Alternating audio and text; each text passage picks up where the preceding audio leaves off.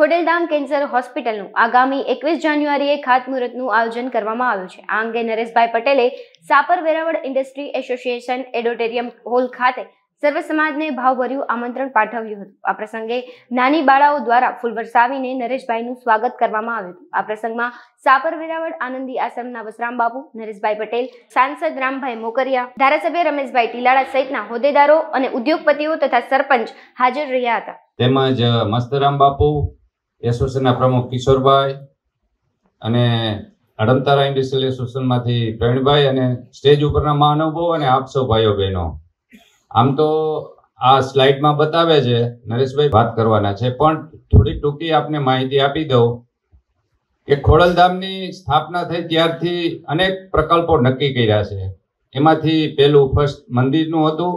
હવે અન્ય આરોગ્ય અને શૈક્ષણિક સંસ્થાઓ કરવાની છે. એ પૈકીની જો આજે હવે જે એકવીસ એક બે હજાર ચોવીસના ખાતમુહૂર્ત કેન્સર હોસ્પિટલનું કરવા જઈ રહ્યા છીએ અને આધુનિકમાં આધુનિક કેન્સર હોસ્પિટલ કે વર્લ્ડ ક્લાસ કેન્સર હોસ્પિટલ બનાવવાની જ્યારે કાર્યક્રમ હોય, ત્યારે મારી અને તમારી બધાની ફરજ બને છે કે આવા સુંદર મજાના કાર્યક્રમના આહુત, એમાં આપણી પણ આહુતિ આપવી જોઈએ ને આપણે પણ નાના મોટું હાજરી રહી એન કેન પ્રકાર, પ્રકારે યોગદાન આપવું જોઈએ.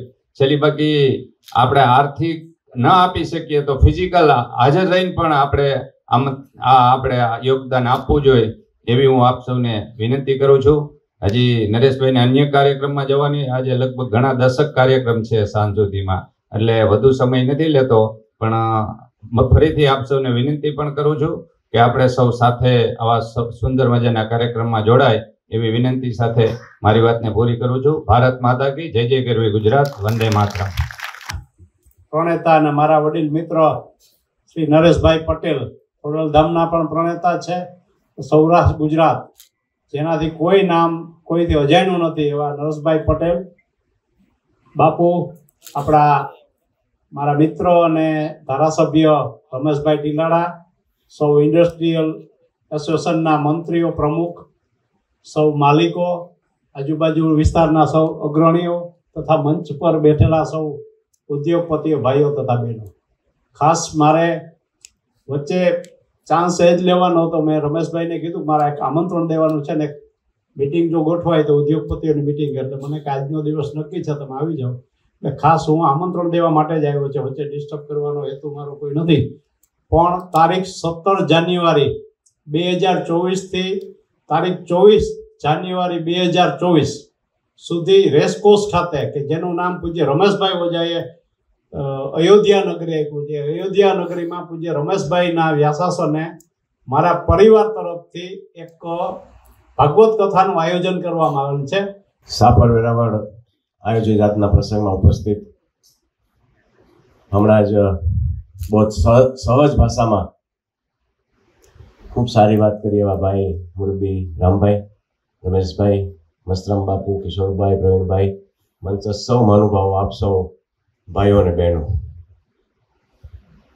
હમણાં જ ખબર પડી કે સાપર વેરાવળ એસોસિએશન, આખા સૌરાષ્ટ્રનું સહકાર એસોસિએશન છે. અને આ બિલ્ડિંગ અને આ તમે આખું જે યુનિટ ઊભું કર્યું છે, બંબા સાથેનું, એને નવ કરોડ રૂપિયા ખર્ચીને આ આખા વિસ્તારને તમે સેવા આપો છે બદલ પ્રમુખ અને રમેશભાઈના લાકડા અભિનંદન આપું અને હવે એના મોઢે જ બોલ્યા છે કે અઢી હજાર મેમ્બર છે અને સાવકાર એસોસિએશન હવે તમારે સમજવાનું. કેન્સર માટે.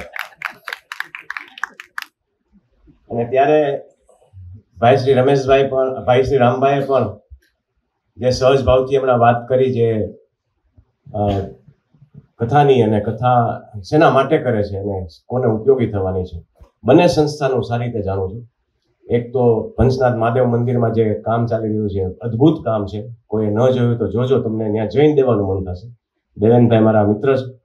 અને એવું જ જ્વેલિંગ એસોસિએશન ચાલી રહી છે. એ પણ ખૂબ મહેનત કરે છે અને ખૂબ જ નાના દીકરાઓને ડાયાબિટીસ થાય એનું ખૂબ ધ્યાન રાખે છે. ત્યારે રામભાઈ, આપને ને પૂજ્ય રમેશ દાદાને જેટલા પ્રણામ કરવું એટલા ઓછા છે. કારણ કે આવો સહજ વિચાર અને સારો વિચાર આવો એ ખૂબ જરૂરી છે.